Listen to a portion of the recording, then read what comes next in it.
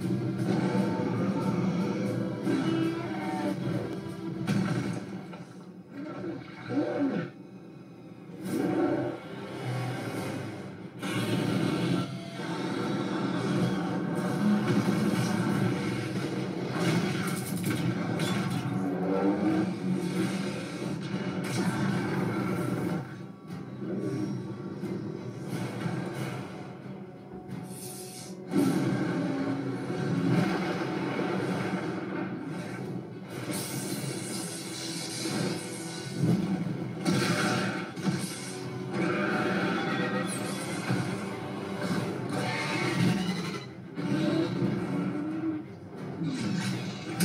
Please hold still. This won't hurt at all.